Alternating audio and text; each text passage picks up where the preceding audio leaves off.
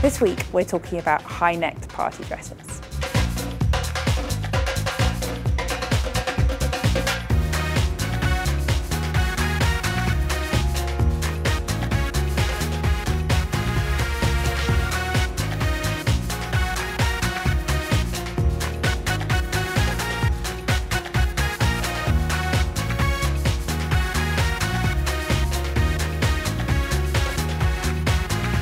So it's December and we are officially into Christmas party season, but one thing is going to be missing from the fashionable party season this year and that is cleavage.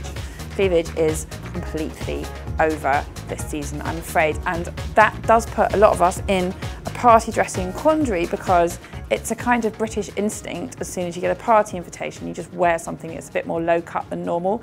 I don't really know why it is. I don't think it's because we're complete floozies, but I think there is an urge to go out and look like you're dressed up not in the way that a six-year-old gets dressed up to be taken to the Nutcracker at Christmas, but in a more grown-up way.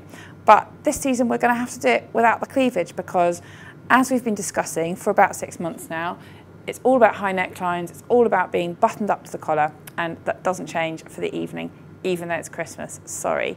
The trouble with a lot of high neck party dresses is that when designers cut the neck high, they then cut the skirt really short. And not that many of us are as confident with our legs as designers would like us to be. So I have kind of avoided what you'll see lots of if you go looking for this, is you'll see lots of lovely demure necklines and then they're cut just below your bum, which is, you know, if you can wear that, then brilliant. You need no fashion guidance from me. If you look good in those dresses, thank you very much.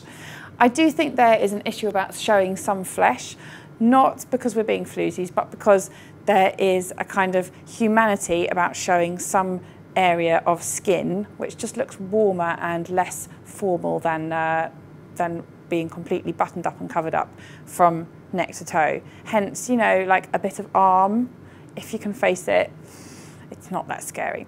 Um, now this dress here is from DKNY. Um, but we've got a bit of a high street special for you today because all the other ones are from the high street. So on our little high street Christmas shopping tour today, starting at Warehouse. Now this one here has this very demure collar, but by having a real accent on the collar, a kind of necklace, this jet, I think, is nice because although the, the Peter Pan neckline can look sometimes a bit babyish. I think having the jet, which is the most kind of grown up of jewels, uh, makes it look rather more ladylike instead. Purple and black is rather grown-up colour combination. This is sort of uh, Christopher Kane on the high street this season is basically what this dress is. Now this is another warehouse dress. And again, fans of Christopher Kane, I think, would be well advised to check out Warehouse this season because this dress, um, I would say, has some inspiration taken from the Versus collections that uh, Christopher designs for Versace. Definitely has that shape in this um, bodice paneling here. Um, very, very beautiful dress and with a little bit of flesh here, but this part isn't sheer. So bra-wise, you're okay. So next up, Oasis. You can see that uh, high neck doesn't have to mean demure. This is rather racy um, with a kind of spangly leotardy top and a tulle skirt made for dancing uh, with, a, with a mullet hem and does have a layer under here so it's not as sheer as, as the, uh, the top layer. It gives the impression and with a cutout at the back here. That's a real dance floor dress. Moving on to French Connection. This one here, um, I love this colour, real electric blue, very Stella McCartney colour for this season, and with this sort of raised neckline here, which really frames your face, and a lovely thick fabric, so you can kind of go with the bodycon shape without feeling like every little lump and uh, mince pie bump is going to show through. Staying with French Connection, this one here I think is a bit of a high street winner. This is my favourite one that I've seen so far. It has a high neckline around here, but quite cut away at the sleeves, which is quite a flattering shape and just shows that little bit more flesh to make the whole thing look a bit more evening-wise.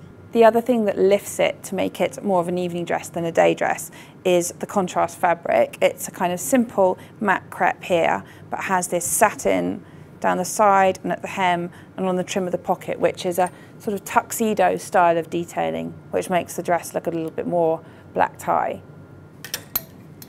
And then lastly, wouldn't be Christmas without a bright red dress.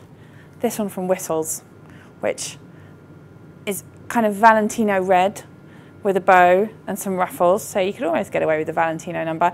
And uh, again, sheer at the top, not sheer here. Beautiful little peephole there at the back, and pretty much a perfect party dress.